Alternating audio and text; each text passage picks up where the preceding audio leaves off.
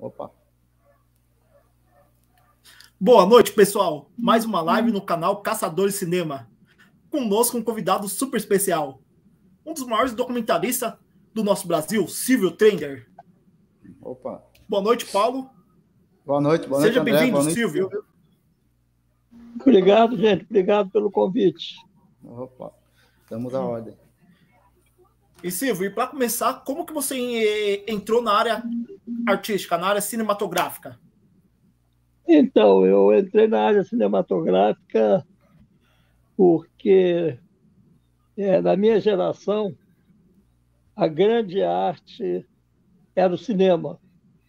Eu nasci em 1950 e aí nos anos 60 é um período de renovação cultural intensa no Brasil. Você tinha o teatro de arena, você tinha a bossa nova, né, você tinha inúmeros movimentos culturais e entre os mais fortalecidos estava o cinema, né? O nascimento da Nouvelle Vague na França, o cinema novo no Brasil.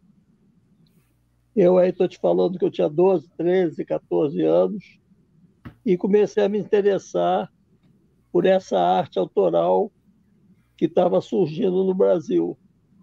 Virei cineclubista.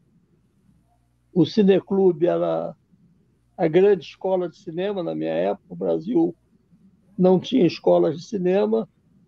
Comecei a frequentar cineclubes. Isso aí cruzou com a ditadura militar e a resistência democrática à ditadura o cineclubismo era também uma porta de entrada para o movimento estudantil, e eu não tive outro destino senão participar do movimento estudantil, as grandes manifestações contra a ditadura militar, o sonho de fazer filmes com a, o modesto objetivo de transformar o mundo. Né? Então, fui virando cineclubista, ativista político e cineasta. Quando eu vi, eu estou aqui com vocês, passado, sei lá, quase 60 anos, nessa militância ativa e intensa por um mundo melhor, mais democrático, utilizando a produção artística como forma de expressão.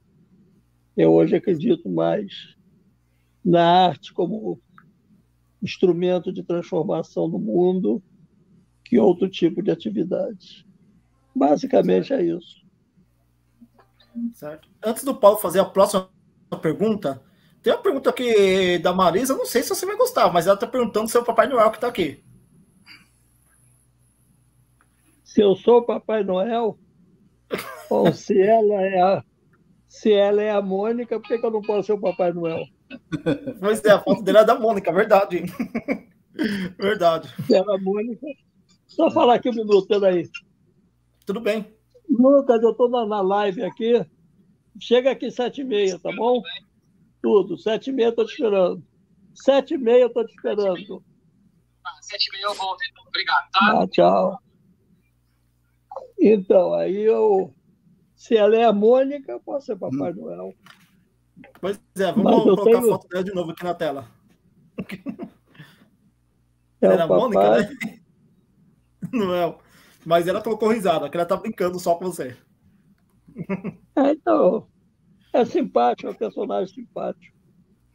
Eu, sim, sim. Eu, eu gosto muito de história em quadrinho, aliás, eu sou de uma turma mais velha que a da Mônica, mas eu fui uhum. alfabetizado com histórias em quadrinhos. Então eu gosto sim, muito. Sim. Só que na minha época, eu fui alfabetizado, a Mônica nem existia. A Mônica é de uma geração ou duas depois. Mas é um personagem Sim. simpático. É. E, aliás, hoje é uma senhora também. Então... Sim, é, porque é, é a filha do, do Maurício, né? É, é a filha do Maurício, baseada. É. Isso. Que hoje Até é administradora da empresa. É. É, é administradora da empresa. Isso daí, Paulo, faça a sua próxima pergunta. É. Sim, não, até complementando, né? Até agora tem a mostra da Bienal que está reverenciando o Maurício de Souza, né? Que sempre, a, a, até hoje ainda é muito reverenciado, né? Pronto, a minha, minha pergunta está relacionada ao documentário na qual eu gostei muito, esse e o outro que eu vou falar mais tarde também, que é o Saúde tem cura, é, o Saúde tem cura, né? Aí numa das bom. frases, né? É, que eu vi. Do, é, Paulo, permita-me te interromper. Peraí. E Oi? agradecemos também a Silvana por ter nos indicado, além, de, além do documentário, o Civil Trender. Silvana que nos passou o documentário e também seu contato do Civil Trender. Sim. Onde sim. eu falei com sua filha, Ana Rosa Trender. Sim. Silvana é uma velha amiga e Ana Rosa é minha eterna amiga. É minha filha. Sim. Sim, e a Silvana eu quase namorei, mas aí não, não namorei ah, porque é tá. amigo. Entendi. Não, pronto, retomando, né? Que no, exato, no documentário Saúde Tem Cura, né? A gente vê o, o padre Júlio Lancelotti, né? Que a gente já, já até entrevistou aqui, né? Que ele disse, né? Uma das frases assim, que a calamidade, a calamidade da Covid né, não foi pior porque graças ao SUS, né? Aí me, me, me chega até a, questão, né, que muitos ainda querem destruir o SUS, né? Aí vem a questão, por que, que ainda querem ainda destruir o SUS que de certa forma, com as mesmas frases do, do que está no documentário, diz que graças ao SUS não foi uma calamidade ainda pior do que, do que ocorreu. Então, essas pessoas que estão querendo desmantelar o país, elas, para desmantelar o país e poderem se apropriar das nossas riquezas, elas precisam destruir tudo que existe de bom e coletivo. Porque o que, que define uma nação? Uma nação é uma construção coletiva de bens acumulados coletivamente em benefício de toda a população. Assim funciona a saúde, o sistema educacional, a segurança, é, a, a arte, a cultura ao tentar destruir o maior sistema público de saúde universal e gratuito, eles estão querendo deixar o povo completamente sem saúde. Né? E eles, a, a gente viu agora que na, na, na, na Covid foi uma tragédia, morreram já quase 700 mil pessoas, teria sido uma, uma tragédia muito maior se o SUS não existisse, porque o sistema privado de saúde não dá vazão a atender toda a população. E mais do que isso, quer dizer, a, o sistema privado de saúde é uma indústria que visa o lucro. Então, o sistema privado não vai se instalar em cidades com uma baixa densidade demográfica, em cidades pequenas, cidades do interior, não tem nenhum interesse em montar uma saúde de qualidade. E aí, ou você tem um sistema público que atende toda a população, ou você não vai ter nada. E esses caras vendem para a população a ilusão de que se a saúde for privada, ela vai ser de muito melhor qualidade. Mas é uma mentira. Quem é que pode investir numa saúde de ponta em cidades do interior, cidades remotas, se não for o próprio Estado brasileiro, a própria saúde pública? Quando eu digo Estado, eu estou falando governo federal, governo estadual e governo municipal. E aí as pessoas têm a ilusão de que elas vão ser melhor tratadas se elas tiverem acesso à saúde privada. Mas quando elas verem que a saúde privada custa muito caro e não atende os interesses da população carente, ou da população até que tem recursos, mas vive de forma isolada, elas vão entender a importância desse sistema público de saúde. E é isso que eu quis mostrar com o filme. o filme está viralizando de uma forma muito rápida. Ele foi lançado no dia 7 e agora já fez mais de 40 mil espectadores. Espera só um minutinho. Atende aqui que é a Fabiana. Atende aqui. É, então, o filme já fez mais de 40 mil espectadores em três semanas, o que é muito bom. E as pessoas estão me escrevendo, estão dando um retorno da importância da existência desse saúde, sistema de saúde público. E eu fico muito feliz de que tenha dado certo, que as pessoas comecem a entender a importância de ter um sistema público de saúde amplo, universal e gratuito. Exatamente. E democrático. Sim, principalmente. É, Silvio, é, eu sou muito a favor do sistema público de saúde, sou totalmente a favor da saúde pública. Eu sou totalmente a favor. Saúde, ter uma educação pública. Porém, que assim, de algum lugar o dinheiro vem. Como que você acha que isso tem que ser? Os impostos têm que ser melhor divididos, as pessoas ficam ter que ser melhores taxadas. Como que tem que vir um dinheiro para ser aplicado de uma maneira correta para que todo mundo tenha saúde? O problema é o seguinte: na verdade, esse sistema público de saúde, criado em 88, na Constituinte, Constituição de 88, Sim. Nunca foi financiado da forma correta e necessária para ele ter essa qualidade que você fala. Então, quando a gente fala, faz críticas à qualidade da saúde pública, você tem razão, a população reclama muito. Só que alguém tem que informar a população que nenhum governo brasileiro até hoje financiou o sistema público de saúde de acordo com as necessidades efetivas do bom funcionamento desse sistema. Então, todo mundo joga para a plateia, todo mundo fala que é a favor, mas na hora de colocar os recursos não coloca. É, o, doutor Adib Jatene, que nunca foi um homem de esquerda, foi um grande médico, médico renomado, criou o, INCOR em São Paulo, um grande cardiologista. Ele empenhou o prestígio dele pessoal, aceitou ser ministro, com a ideia de poder ajudar e criar um sistema público de qualidade eficaz.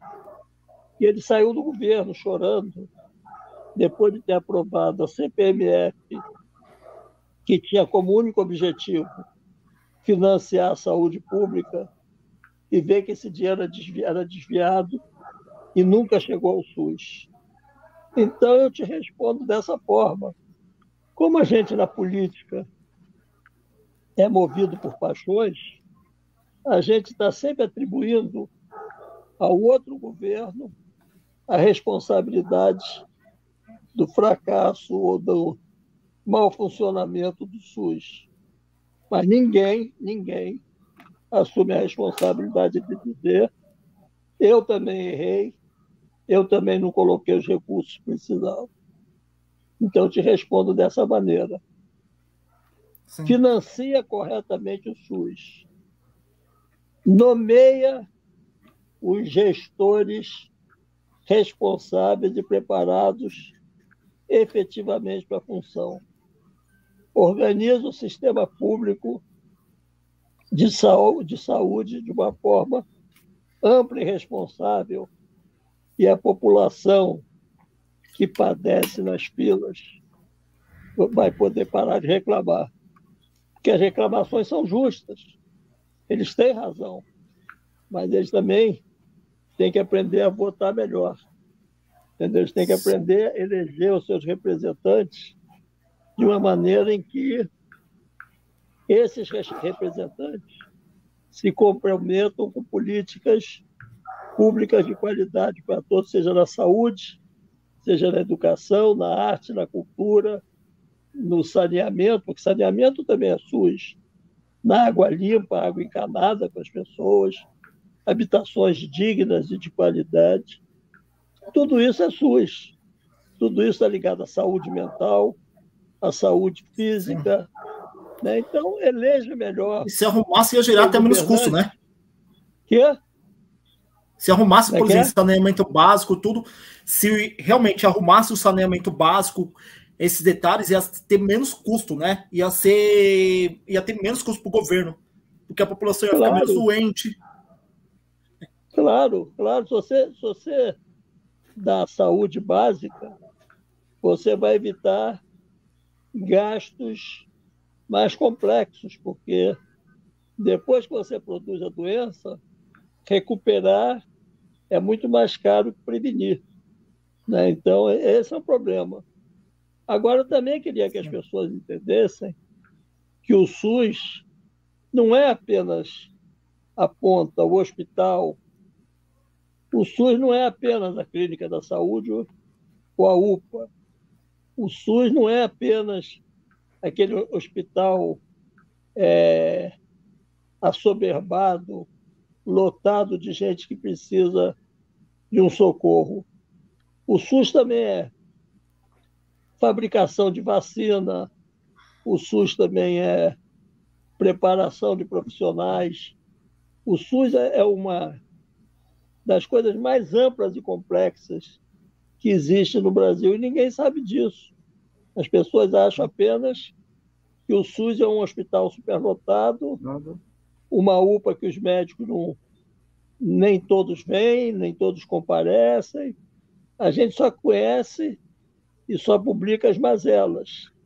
A gente não publica, por exemplo, quantas vidas foram salvas durante a Covid graças ao SUS. Se não houvesse o SUS, a tragédia teria sido muito maior. As pessoas Sim, não sabem, por exemplo, até aquelas pessoas de classe média ou de mais posses que acham que não precisam do SUS, que se elas sofrerem um acidente na rua, passarem mal na rua, e ninguém, ninguém da família souber que aquele cara precisa de uma remoção um hospital ou de uma estrada, que quem vai socorrer é uma ambulância do SUS, que o SAMU também é SUS. Se você acidenta, você primeiro vai ser socorrido por um hospital público. Aí depois, se você tiver posse, sua família pode te remover para um hospital privado. Mas os primeiros socorros vêm da saúde pública. E as pessoas não falam disso, acham que não precisam. Até até a existência do SUS e a Lei Aroca, é, a colheita de sangue para transfusões era uma terra de ninguém, era um Deus nos acuda. As pessoas compravam sangue barato de pessoas com fome, que não tinham condições de doar aquele sangue, mas por conta da fome doavam essas pessoas não recebiam nenhum tipo de exame para saber se elas tinham de condições de fazer essa doação.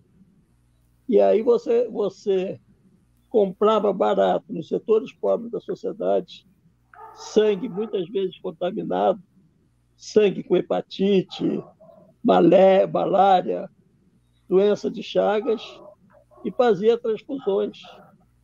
É, as pessoas, muitas pessoas, hemofílicas morreram de HIV por conta de transplante, de, de transfusões mal feitas.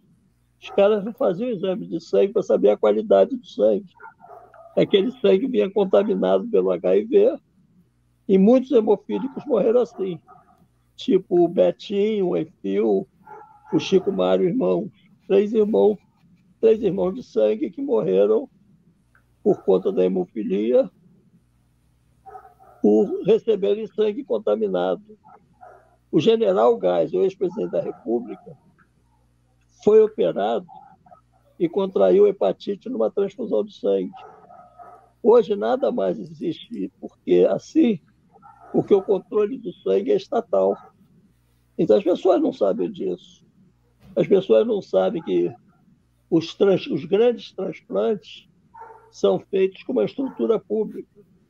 que tem a estrutura para pegar lá num estado longínquo um coração uma pessoa que teve morte cerebral e a família concordou em doar o coração e levar com todas as condições daquele coração chegar para um outro lugar muito longe e ele salva uma vida. Isso é SUS também.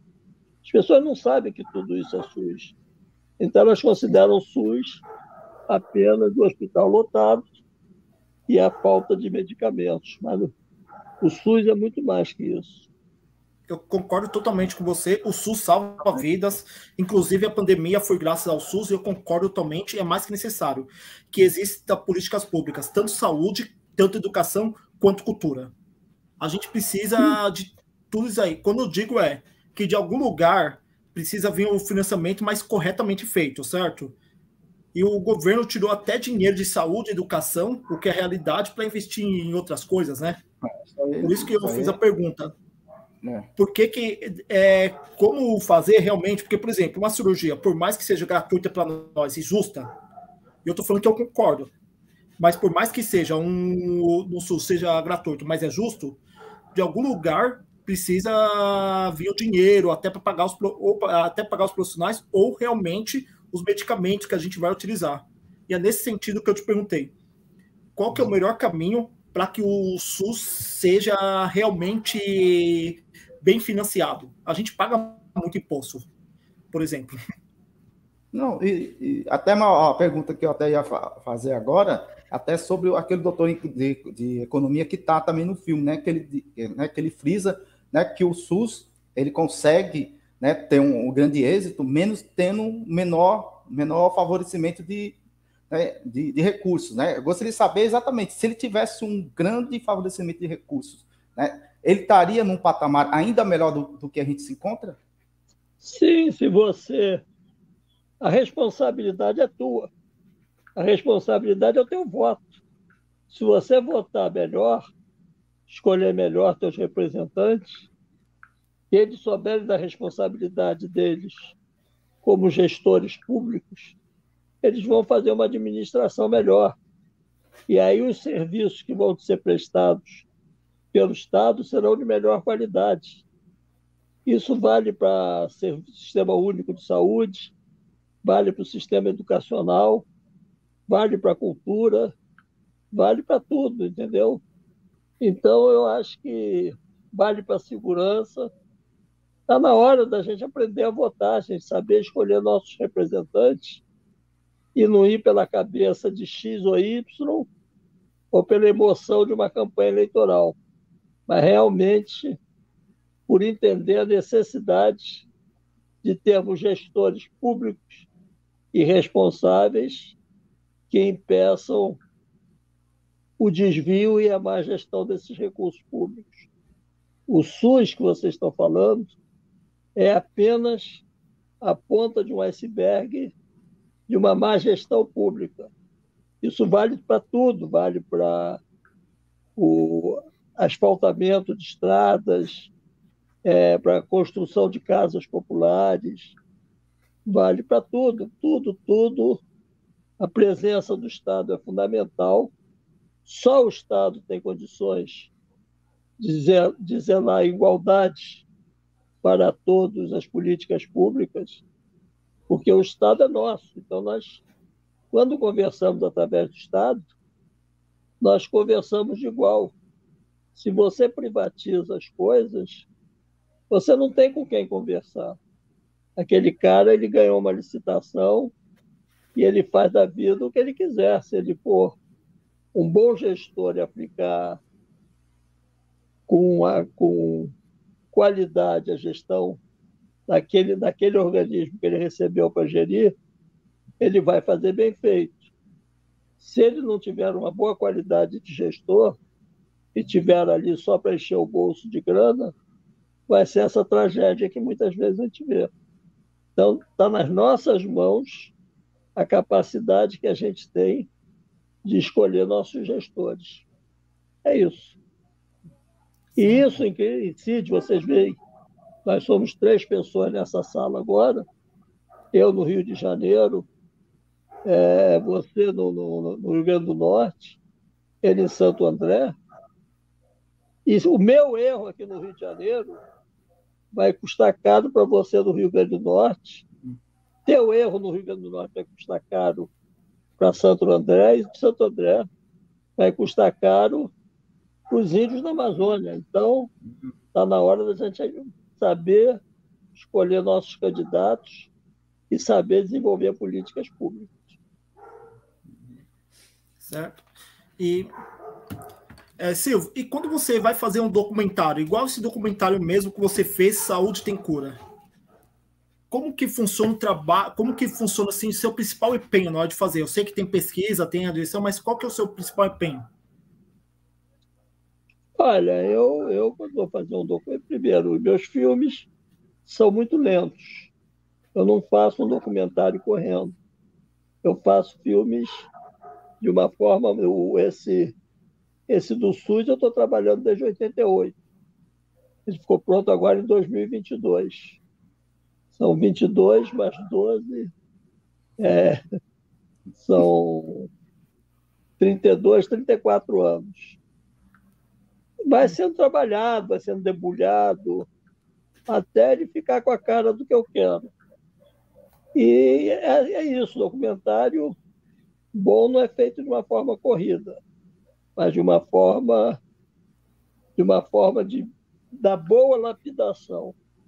Então eu trabalho assim, eu, eu sou um, um cineasta muito lento, mas quando eu faço, eu procuro fazer bem feito. Isso vale para todos os meus filmes. Certo. Paulo? Opa. Pronto, eu vou fazer uma pergunta, né, de, de, é, de um filme, daquele, do documentário, né, que eu assisti na infância, né, obviamente que eu estou falando do, do Mundo Mágico do, dos Trapalhões, né, que é um que eu sempre assisto, sempre uma, volta e meia eu assisto, eu gosto muito, né, que foi filmado bem na época que eles estavam trazendo o cinema, né, e, e, o programa da televisão, né, com a, com a narração do, do Chico Anísio, né, que era um mediador, né, da, da história. Eu gostaria de saber como foi esse convite para fazer o Mundo Mágico dos Trapalhões e se poder, e se existiria um Mundo Mágico dos Trapalhões 2, né? Porque eu acho que ainda o, os Trapalhões, né? O, ainda hoje ainda é referência, né? Do, do humor né? do Brasil e também para o público infanto-juvenil de modo geral. Então, eu te agradeço muito a tua pergunta, porque eu sofri muito preconceito, muita patrulha quando eu fiz esse filme. Hum. Eu tinha, em 1980, terminado de fazer Os Anos JK, hum. que foi o meu primeiro filme político, longa-metragem, e na época foi a época da redemocratização, e ele fez muito sucesso. Eu era professor da Universidade Católica do Rio de Janeiro, dava aula para o filho do Renato Aragão. Hum. E aí o Paulinho sempre viu que eu não era uma pessoa preconceituosa, conversávamos muito. Um dia ele falou: Meu pai quer conversar contigo, se você aceita fazer um documentário com ele. Eu falei: Claro. E aí eu fui lá, conheci o Renato, adorei. É um filme que, na verdade, me profissionalizou, né, porque eu tinha feito uns anos JK, pela questão política, pela importância de discutir a redemocratização. E o Mundo Mágico dos Trapalhões foi um filme que eu recebi um convite para fazer. Eram os maiores comediantes da época, as maiores bilheterias no Brasil. Tanto que esse filme fez 1 milhão e 700 mil espectadores. Nenhum documentário. Documentário, isso que eu ia falar, exatamente. Isso que eu ia falar. Uma, é, exatamente, uma bilheteria de um, documentário. Cinema brasileiro, documentário, então.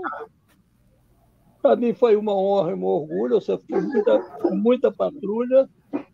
Eu sofri muita patrulha. O pessoal dizia que Silvio Temer, quem diria. Mas hoje as pessoas entendem a importância dos trapalhões.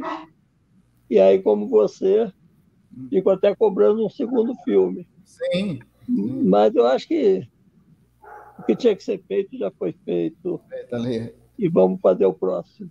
Sim. É que é muito bom, muito bom. Eu não sei, não sei se deve estar na Globoplay, eu não sei onde é. Porque eu, eu, lembro que eu aluguei nas locadoras ainda, lá no final da década de 80, por aí. Aí depois eu fui achando, assim, acho que depois eu assisti, mas no, no stream do Viva, da Globo. Só que agora acho que saiu. Acho que o SBT está com a curadoria inteira do, do filme dos Trapalhões. Eu, eu acho que ele vai, vai deve passar, se fazer parte ainda. Né? Quando passar, eu, vou, eu, falo, eu coloco no Instagram para o pessoal assistir. Uhum. Para divulgar Sim. aí para o pessoal assistir. Tá bom. Sim. Sim. Bom, só explicando também que o pessoal, o Silvio Trender, ele participou do Cine Clube, do Cine Clube do Rio de Janeiro. O documentário que ele fez é Saúde tem cura, tem um questionamento ao SUS. Então também o seguinte, ele também participou ativamente da luta contra a ditadura.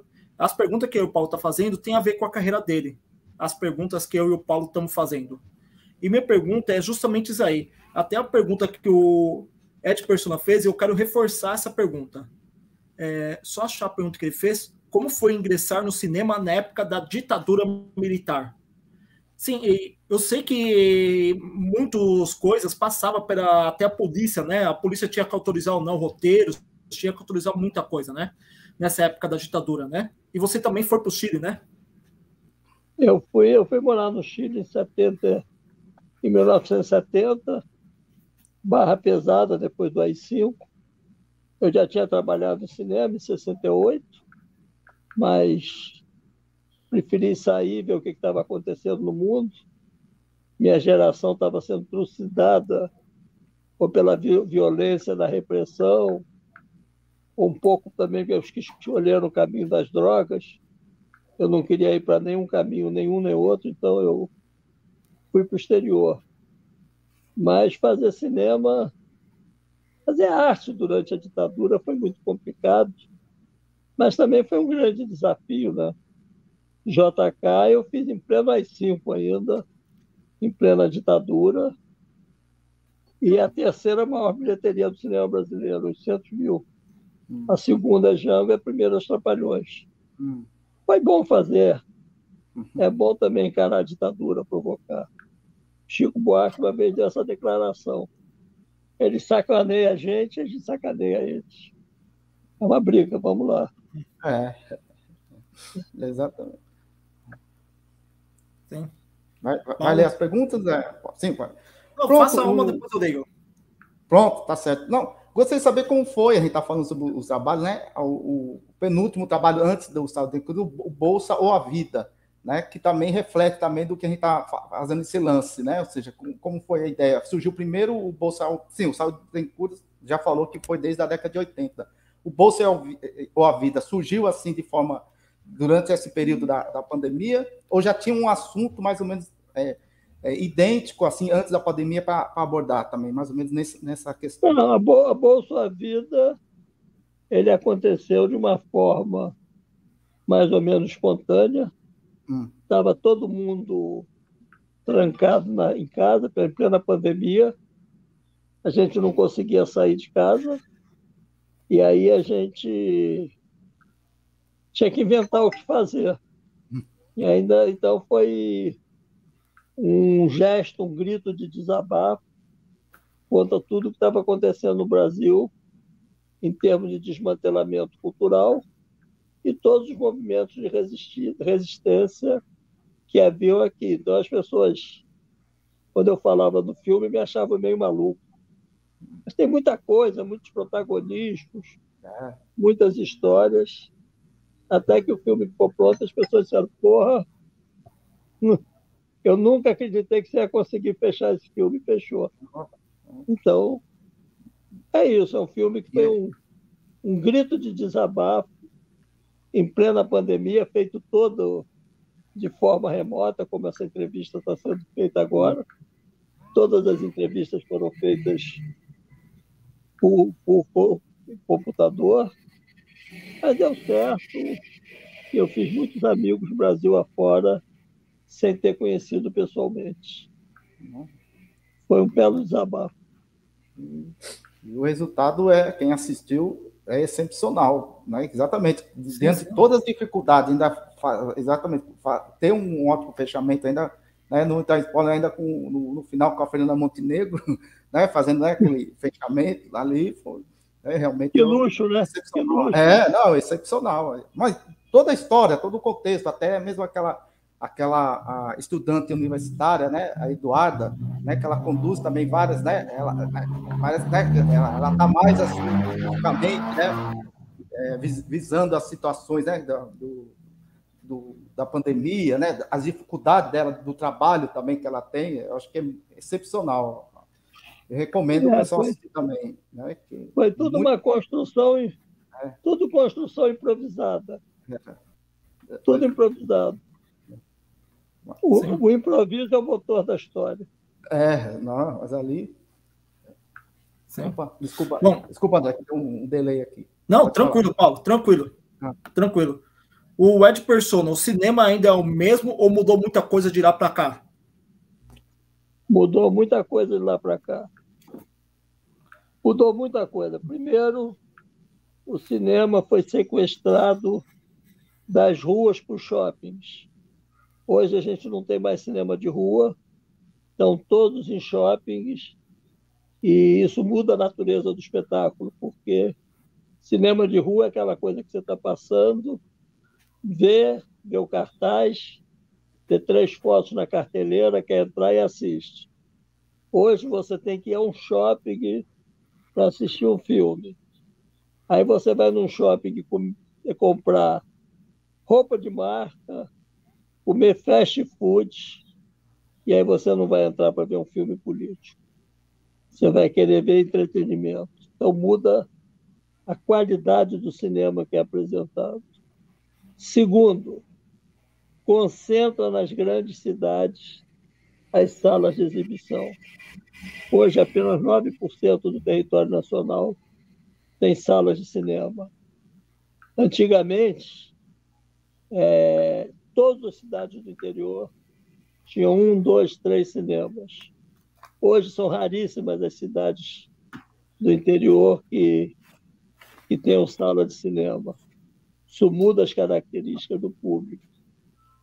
E agora, com a pandemia, tem a mudança mais radical ainda, porque como as pessoas ficaram em casa, se acostumaram a ficar em casa, hoje o que está bombando é o chamado streaming as plataformas digitais, em que você não quer sair de casa para ver o cinema, e aí você fica vendo seriados, paga pelo seriado, fica em casa, e cada vez você vai menos ao cinema e shopping. Então, o cinema tem que ter muitos atrativos para te tirar de casa para ver um filme. Tem que ser uma tecnologia de então ponta, assim, absolutamente radical, louca, que você queira ver aqueles efeitos especiais com aqueles personagens. E isso também vem quase tudo dos Estados Unidos e molda o gosto dos espectadores. Então, as pessoas estão cada vez mais desacostumadas a ver filmes falando em português, temáticas brasileiras, e o resultado é que cada dia mais o público se desinteressa do cinema brasileiro. Mas a gente segue lutando. Sim. Então, antes só de eu dar a mensagem, você falou de streaming. Qual é a sua opinião sobre o streaming? A minha, a minha opinião sobre o streaming é ruim com ele, pior sem ele. Né? Eu acho que está todo mundo usando essa forma de expressão só nos resta tentar fazer plataformas com filmes, divulgando filmes de melhor qualidade, com temáticas mais próximas da nossa realidade, é o nosso sonho de transformação. Sim. Então, ora, tem um pessoal que está fazendo gracinha aqui no chat. A Alissa Marinho é a segunda que fez gracinha com você. Silvio Noel, Silvio Noel. Eu fui uma boa menina, quero meu presente de Natal. Que é eu Mais uma fazer. de Natal. Mas quem está no Rio Grande do Norte é o Paulo. Quem está em Natal é o Paulo. Estou no Rio de Janeiro. Aí, Paulo, é. você ter que dar presente. Eu posso, eu posso dar um presente de Copacabana. É. Ah, sim. legal, legal. O nosso parceiro aqui, o Christopher, assisti muitos filmes em cinema de rua. Era sensacional.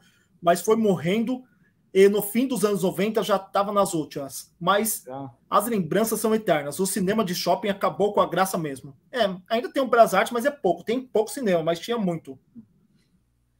Tem tinha muito cinema de rua. Tinha, eu passava minhas férias em Teresópolis, cidade serrana aqui perto do Rio de Janeiro. Tinha cinco cinemas numa cidadezinha pequena, dois filmes por semana cada um. A gente tinha a opção de ver 10 filmes por semana. Entendeu? Agora, Teresópolis não tem mais nenhum cinema. E a gente não tem mais possibilidade de ver nenhum. Ou a gente tem TV a cabo e aluga filmes e por TV a cabo, ou plataforma de streaming, ou espera voltar para o Rio de Janeiro para ver filme. Isso é uma tragédia. Concordo perfeitamente com ele. É... A Luana Marisa está lembrando que a gente entrevistou o padre Júlio Ancelotti, que você conhece bem ele, está nos seus documentários. Ele já apareceu mais de uma vez em seus documentários. Esse canal já entrevistou o padre Júlio Ancelotti. Não precisa falar mais nada, vocês são muito bons. Muito obrigado. Realmente, obrigado, tem uma entrevista obrigado. aqui do padre Júlio Ancelotti, que ele fez o filme Fé e Rebeldia. O padre Júlio, que é bem amigo seu também, né? Eu, eu entrevistei, já, já. A gente se gosta muito e eu acabei de assinar um manifesto sugerindo ele para o Prêmio Nobel de, da Paz. Hum. Ele é uma figura muito importante da cultura brasileira, da política brasileira. É um parceiro, é um lutador, merece todo respeito, carinho, e viralize esse manifesto que nós precisamos ter Padre Júlio, Nobel da Paz. Sim é, Marina Pinheiro Ferreira, que honra poder participar do canal Caçador de Cinema e ter o privilégio de escutar os grandes conhecimentos de Civil Trender. Abraços. Eu te agradeço. O Ed Persona está perguntando. O Ed Persona está perguntando qual a forma de arte que mais te impressiona. Mais, mais me impressiona? Eu amo arte, eu amo. Eu acho que o que muda o mundo é a arte. A arte, para mim, para mim, é a maior expressão do ser humano. Então, eu gosto de ver arte popular, arte erudita. Eu gosto de ver pintura, fotografia, cinema, música, escultura, é balé, teatro, dança, não importa qual é a forma de expressão artística. Eu acho que importante é o prazer que ela gera na gente e a vontade de usufruir essa arte. Eu acho fundamental. Nenhuma, nenhuma arte supera a outra. Todas são muito importantes. Circo também? O circo também? Como? Que em breve a gente vai entrevistar artistas de circo. O circo também? Perguntando porque em breve vamos entrevistar artistas de circo. Claro, claro. Não há, não há criança que não tenha ficado impressionado com o circo, que não tenha sonhado um dia em ser palhaço. É, até tem a ver com a personalidade. Alguns querem ser palhaço, outros trapezistas. Você, você revela a própria personalidade no teu sonho, né? As mulheres que querem ser domadoras, cuidado, cuidado. É, o trapezista, né? o trapezista é um cara que evolui na vida, correndo riscos, né? O domador que entra na jaula do leão, o palhaço que faz graça, o mágico, o mágico que trabalha no, no, no encantamento e na, na, na, na, ilusão. Eu gosto muito do circo. E durante a infância frequentei muito circo. Na infância eu vi o, o circo de Moscou quando veio ao Brasil. Gostei muito, muito lindo. Sim. É... O Walter José, sempre aqui com a gente, diretor de cinema também, abraço a todos. O nosso amigo Felipe Geller, Paulo, que a gente teve no canal dele Opa. recentemente, falou de catálogo, e semana passada deu entrevista aqui. Tá dizendo salve, amigos. Boa live a todos. Muito obrigado, Felipe. É, lá da Hopkins e Friends. Melão estragado. É o nome do usuário, melão estragado. Nossa, que nome, nome feio, né? Mas tudo bem, é o nome do usuário. Uai, tudo bem? É bem de Minas. Uai é de Minas. Ah, bem de Minas. É. ah, sim. É... Uai, só. Uai, só. Quem que é uai? Uai é uai. É. Alisson Pretizel, Aliana Suassuna, gosta? Muito, muito. Conheci pessoalmente. Tinha um fascínio, um grande contador de histórias. Uma figura engraçada. Eu tenho uma hum. história engraçada com ele. Que na época daquele apagão aéreo, hum. eu não sei como, eu sou do Rio de Janeiro, estava fazendo uma viagem, de repente fui parar em Campinas. Campinas era a base de uma companhia aérea. Tinha uma multidão no aeroporto vagando, procurando seu voo, e que próximo voo iria. E aí eu encontrei Jerry Adriane, encontrei Moacir Franco, hum. e de repente eu vejo o grande Moacir, o grande Ariano Suassuna, vindo em minha direção com uma escova de dente na mão e pasta. E aí eu não aguentei, falei com ele. Salve, Ariano, sou seu fã, que bom vê-lo aqui. Ele falou, rapaz, eu tô querendo lavar meus dentes e não sei onde que eu acho um banheiro. E com aquela escova e pasta na mão. Foi a cena mais surrealista que eu vivi na minha vida. O Marcos Roberto Meira está fazendo a pergunta mais feita aqui no canal. Akira Kurosawa, gosta? Adoro, adoro, adoro. Sou fã incondicional de Kurosawa. Kurosawa inclusive no método de trabalho. Eu li um artigo dele uma vez que eu aprendi e comecei a fazer. Andar sempre com um caderninho, anotando as ideias. E aí você guarda e um dia você vai usar num filme. Isso foi a lição que eu aprendi com Kurosawa. Além dos inúmeros filmes maravilhosos que eu assisti dele, adoro o Todescaden, adoro o De Souza lá, adoro o Han. E ele, ele tem um, um, filme que pouca gente conhece, final da Segunda Guerra Mundial, é Juventude Redimida, que é um verdadeiro filme estilo neorrealismo italiano, dos primeiros filmes dele, pouca gente conhece, e é maravilhoso, maravilhoso. Um grupo de jovens japoneses que se unem em torno de um professor e são contra a guerra sino-japonesa. É um filme fantástico, pouca gente conhece. Aconselho ao fã de Kurosawa que tente assistir esse filme. Filme de 44, 45, por aí. Deve, deve existir, deve ter no, no essencial da, da distribuidora Versátil, né? Que sempre lança bastante é coletânea do, do Akira Kurosawa, ou, ou às vezes pode não. ter. É, esse, ah, não tem, esse aí não tem, não. Esse aí, eu, esse aí eu vi.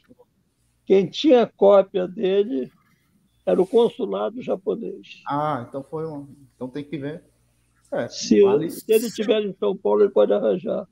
É, é só ver pela Tina Ferreira, ela que foi até alertado aqui pela minha equipe dessa pergunta, Silvio, por que as mulheres merecem respeito? Então, na sua opinião, mulher, as mulheres merecem respeito. É, qualquer ser humano merece respeito. Claro que as mulheres merecem nossa atenção, respeito e carinho. Né? Eu, eu sou apaixonado por elas, mas eu acho que essa questão é fundamental, que todo mundo se respeite. Né? Eu acho que é, eu digo que meu lugar de fala é o mundo. aonde eu estiver, eu estou na minha casa e tenho essa liberdade de falar. E tenho a maior admiração pelas mulheres e acho que elas devem ser respeitadas, Vanessa. Completamente. Uhum. É... O Ed Persona está perguntando qual é o seu filme nacional preferido. Não vários filmes dirigidos pelo Civil Trainer. Só uma brincadeira. Qual que é o seu nacional preferido? Olha, eu, eu gosto muito. Eu gosto muito do cinema brasileiro. Eu gosto tanto de tantos filmes que eu prefiro até citar autores. Eu gosto muito dos filmes do Joaquim Pedro de Andrade. Eu gosto muito do Leon Hirschman. Eu gosto muito Amém. do Rui Guerra. Entendeu? Eu acho que o, o Brasil tem grandes cineastas e grandes filmes. Agora, se eu hoje fosse falar de um, eu falaria os, os Cafajestes hum. do Rui Guerra, é. em homenagem à minha querida amiga falecida Norma Bengal. Hum. É. Sim. Perguntar, você gosta de Limite de 1931, do Mário Peixoto? Não fica triste, não. Não, não gosto. Não gosta? Tudo bem. Não, questão de opinião, tem que respeitar não, todas as opiniões. Eu não tenho, eu não tenho esse encantamento que as pessoas têm por limite.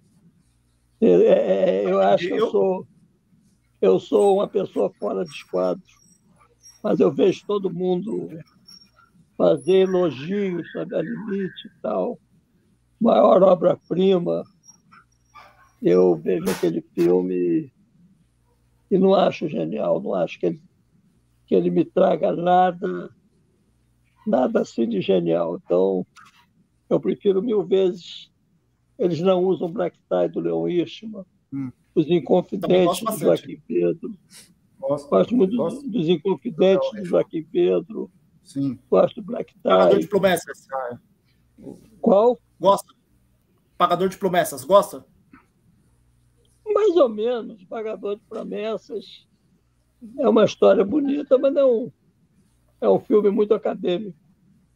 É um filme muito acadêmico e, na verdade, aquele prêmio que ele recebeu em Cannes era destinado ao cinema brasileiro.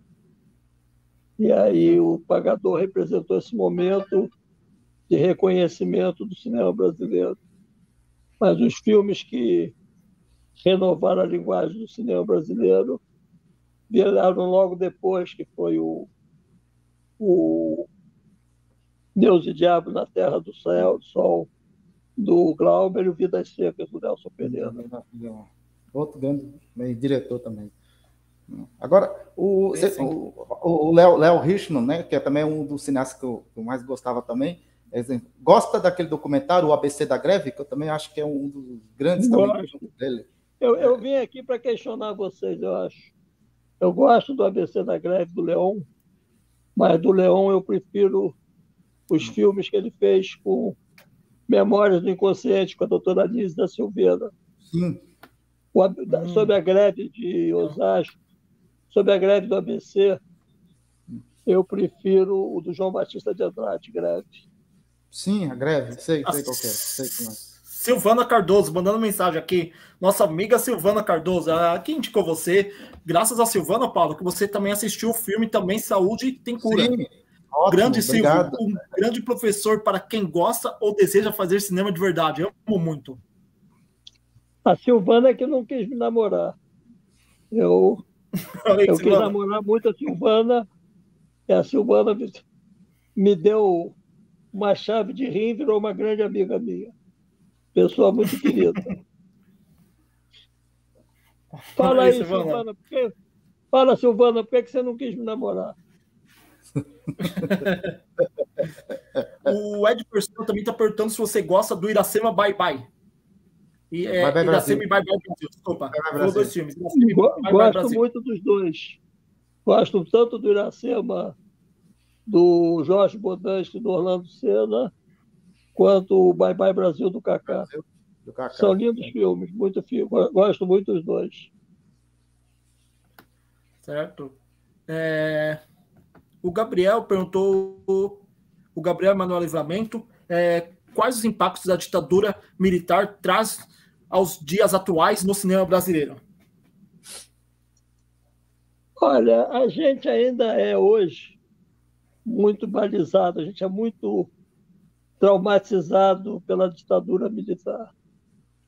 Então, as nossas pautas ainda são muito marcadas por essa luta contra a ditadura e os traumas que ela nos trouxe. Nos trouxe. E ainda agora, esse governo do excremento é um governo muito, muito ancorado na ditadura, com tudo que ela tem de ruim. Então, eu acho que ela não trouxe nada de bom para o país, ela foi muito perniciosa. Eu espero que a gente logo consiga virar essa página. Uhum. Sim. Bom, Paulo, faça uma última pergunta ao Silvio. Pronto. Antes da gente fazer o, nosso fechamento aqui. Não, pronto. Eu gostaria de saber assim, se já tem uma próximo, um próximo projeto, né, depois desses do saúde né, tem cura, né, a bolsa e, e o último trabalho né, que, eu, que, a gente falou eu agora. Fazendo... Já tem um, um, novo andamento aí para que, que, já Sim, pode. Eu estou fazendo um filme sobre arte urbana que eu fiz durante a pandemia, estou acabando agora, sobre a história do sindicalismo brasileiro. Hum. O futuro é nosso. Estou fazendo um sobre o Brizola. Sim, ótimo. Olha, que ótimo. Ideias não faltam. É, tem, tem, um, até, até fazendo uma eu assisti um, que é com, até com a Cleo e com o Fernando Alves Pinto, é, é, é Legalidade. Não sei, um, agora esqueci o nome do diretor. Que é, é um filme também, do Sul, né? É, é. é. Um filme. É. Eu assisti. É, eu gosto. Achei, tá, tá no Globoplay, tá no Globoplay. Eu já assisti. É muito bom, eu gostei, eu gostei da história. É porque foca, né, um momento da história que a gente não desconhecia, assim, né? para é. o nosso, cinematográfico, né? Quer dizer, né? né? É muito importante. Olha, a Silvana respondeu aqui, olha. respondeu? Para não acabar. É, a Silvana respondeu. Haha. Você falou que quis namorar com ela, né? Mas eu não quis. Ela respondeu que é para não acabar o nosso amor e amizade, mas te amo para sempre. Pronto. Pronto. Então, quando você gostar muito da pessoa, não namore ela. É uma lição que eu acabei de receber hoje da Silvana.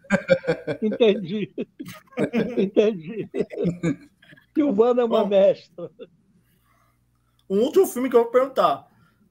Eu já perguntei dois filmes, ó. A gente, a gente tem que respeitar as opiniões, as opiniões independentes, cada um tem a sua. Mas eu vou perguntar dois filmes, de um filme se você gosta, brasileiro, que é o Lavoura Carca, que é um que eu gosto bastante. Eu gosto, eu gosto muito do Luiz Fernando, gosto muito do Lavoura Arcaica, gosto do Celto Melo, gosto do Raduan Nassar. E ele foi produzido com um amigo meu na Embrafilme, Arnaldo Carrilho, porque era um filme muito difícil de produzir, um filme muito grande, muito longo, muito erudito, e o Carrilho teve a coragem de produzir. Luiz Fernando de dirigir. Raduan é uma história maravilhosa. E os atores maravilhosos. Só posso elogiar esse filme. Qual é o outro? Qual é o outro Não, filme? Não, seria esse mesmo, eu vou a carca. É que eu falei dois filmes aqui, aí uma pessoa falou, ó, oh, o gosto dele não bate com o seu. Não, ele gosta. É que ah. eu falei, igual a opinião tem, todo mundo tem, né? opinião, né? Porque por mais que tudo, e a gente tem tá no papel de entrevistar, né? ok. A gente tem que ouvir o que, que o entrevistado tem a dizer. Bom, lembrando que ainda hoje, nove e meia da noite, o rola de cinema de filme de vampiros. Amanhã, oito e meia da noite, a banda de punk rock Glicerina. É, quarta, oito e meia da noite, Gabriel, do Turma CH. O Turma CH, o CH de Chaves. Você gosta do seriado Chaves? Gosta, não gosta? Qual? O Chaves. O Chaves, o Chaves. do Chaves? É, o seriado eu não conheço, eu gosto dos filmes do Chaplin. Eu sou fã, não, sou fã do Chaplin. Quem? Não, não Chaves, Chaves. O Chaves. Chaves não do Chaplin, venezuelano? É, do Bolano. É, do, do, do, mexicano. Mexicano. Não, não, não, conheço, não. Eu conheci o Bolanos aqui no Brasil há muitos anos atrás. Mas esse ah, filme tá. eu não conheço, não. Ah, esse filme eu não conheço. A gente conheço, vai não. falar um pouco de Chaves, Chapolin. É, na quinta-feira, temos a Luciene Cunha, filha do Clery Cunha, que dirigiu o edifício Joelma, 13 terceiro andar. Na quinta-feira. É, na sexta-feira também teremos live aqui com o. Bom, deixe suas considerações finais, Silvio. Olha, eu queria agradecer a vocês o convite. O papo foi muito simpático. Falar de cinema é sempre bom. E eu estou à disposição de vocês, o que vocês quiserem. Tá bom, muito Igualmente. obrigado pelo convite. Para mim foi uma honra participar. Opa. Igualmente. Tá bom? Grande honra. Muito bom entrevistar um dos maiores documentaristas do nosso país. Hum. Silvio Trender. Uhum. É, na sexta-feira, o diretor Carlos Ferreira. E no sábado, eu e o Paulo vamos falar da novela Pantanal com o professor Luiz Fernando. Muito obrigado, Silvio. Muito obrigado a todo o público. A Silvana também, a sua filha, obrigado, a Ana, com quem eu conversei hoje, que fez esse contato. E até agradeço a todos e até a próxima. Tchau, tchau. Tchau, tchau, pessoal. Tenham uma boa noite. Boa noite. Até daqui a pouco. Valeu. Tchau, obrigado. Tchau, tchau. Obrigado.